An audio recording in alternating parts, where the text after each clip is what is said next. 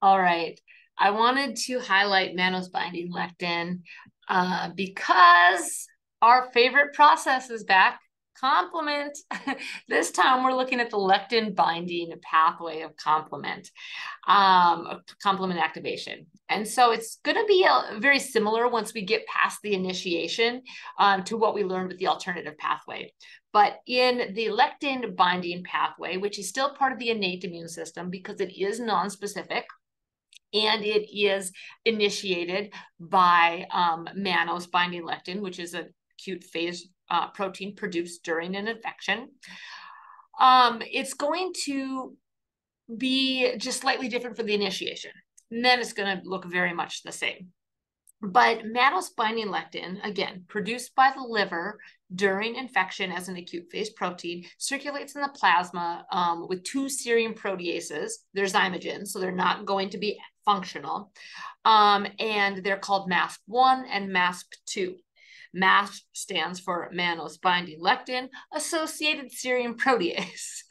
okay, so MASP1 and MASP2, and it kind of looks like a stalk of flowers that's upside down. So if you were to flip it around and you were to hold flowers, right, that's kind of what it looks like.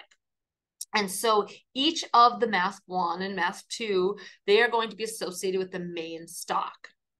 When it's bound to the surface of a pathogen, then mannose binding lectin will trigger the lectin binding pathway of complement activation.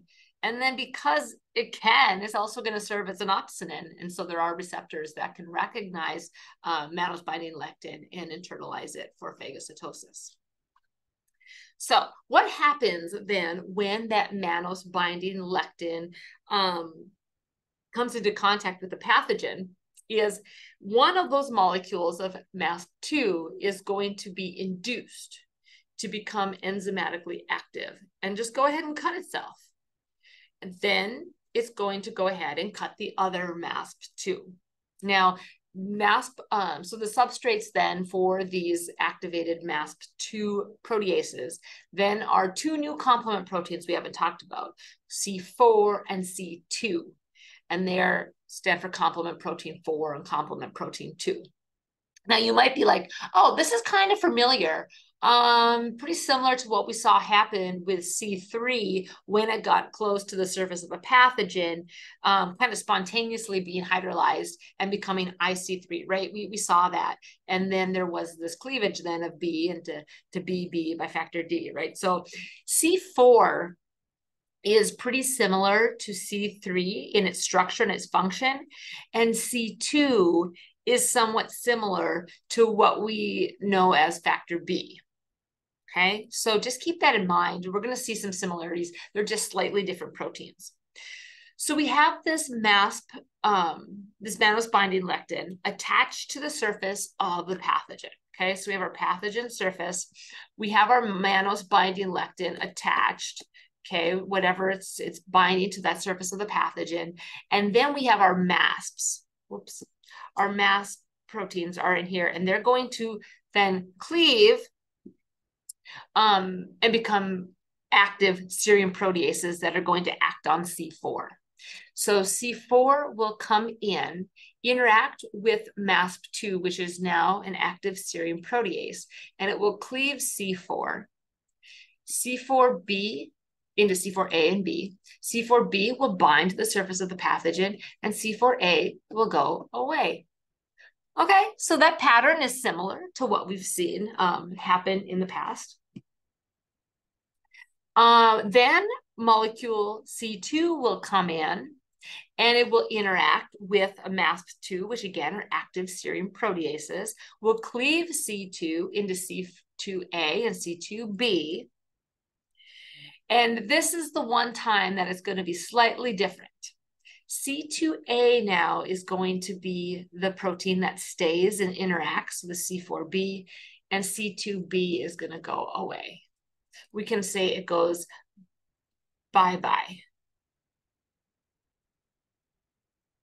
okay, I don't know. Um, so C4A is going to go away and C2B is going to go bye-bye. And C2A then will interact with C4B. So then we'll have a C4A or C4B to C2A or C2A um, will then be the um, protein group that will cleave C3. So C3 is still involved. Remember when we looked at that table that showed um, how they all three pathways of complement activation coalesce on the cleavage of C3? This is where it happens. And because C4B, C2A is the molecule that does the cleavage of C3, it is called the C3 convertase. But we call it the classical pathway of um, C3 convertase, the classical C3 convertase. You're like, but why isn't it called the lectin pathway? Because we're going to find when we learn the classical pathway, this is the same. So in the alternative pathway of complement activation, the C3BBB was the C3 convertase. And now C4B2A is the C3 convertase of the mannose binding lectin, and we'll find of the classical pathway. And so the job of that protein combination is to cleave C3, and it's going to cleave C3, and it's going to cleave C3, and it's going to cleave C3 over and over and over again. Um, C3As will go away, C3Bs will be deposited on the surface of the pathogen, just like what we saw in chapter two with the alternative pathway of complement activation. So again, here is that um, diagram. And where we had with the alternative pathway, it was the pathogen surface that um, initiated that first C3 to become hydrolyzed. Um, in the lectin pathway, it's going to be binding of um, mannose binding lectin on the surface of the pathogen. And then eventually, when we get to the adaptive immune system, we're going to look at um, antibody, but C-reactive protein can also activate the classical pathway of complement activation, which C-reactive protein was an acute phase protein that we saw a couple slides ago. Well, actually in the third or I don't even know what third, right? Or is this the third, the second lecture of this chapter? Okay, so then let's look at C-reactive protein. Because it is an acute phase protein that we're covering in the innate immune system, but it can initiate the classical pathway of complement activation, much in the same way that mannose binding lectin does. And it looks very, very similar to mannose binding lectin, like an upside down bouquet of flowers. Flip it around, you have a stalk, and you have the pathogen binding pieces. And then you have these things called CR1, CR, or CR, C1R, and C1S. C1 is the first complement protein. So finally you're like, oh, now we have the numbers. We have, now we have C1, 2, 3, 4, and 5, and all of them, right? So now we've actually talked about all of the complement proteins. Um, so the stalk is made up of C1q, and then the two zymogens that are going to be the serine proteases are C1R and C1S. And so you can see how they're associated with the stalk. C1R and C1S are similar in structure and function to the MASP1 and MASP2. So, like you're probably um, assuming is going to happen, is we're going to have C-reactive protein is going to interact with a pathogen surface, okay?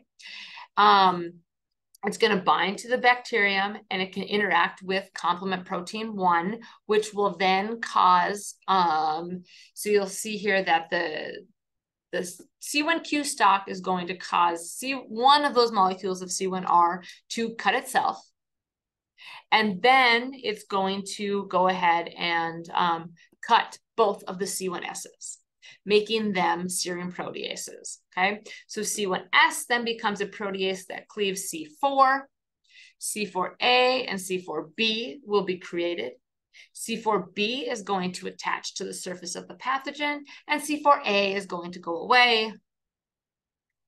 C1s also cleaves C2, and then C2 will form into C2A and C2B. C2A will stay, and C2B will go bye-bye.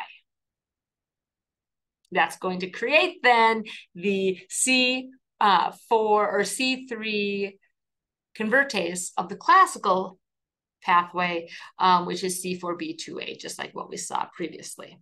So here is a diagram showing all of that in one um, place. And we have C-reactive protein that's going to be near the surface of the pathogen. We have C1 um, binding to the surface of C-reactive protein. And then we have C1R cleaving itself, which will then cleave C1S. C1S or C1R will also cleave C4. C1S will cleave C2 and C4A will go away, C2B will go bye-bye, and then we have our C3 convertase of the classical pathway. That means that it will cleave C3 again and again and again and deposit lots of C3B on the surface because the C3As go away, the anaphylatoxins. And we can either have opsonization occur because of all of the C3Bs on the surface, or we can start to bring in C5 through 9 to make the membrane attack complex. Whew, I hope that was okay. Um, okay, so that's where we're going to stop with this one. And we will um, pick up with our last lecture here, um, looking at NK cells.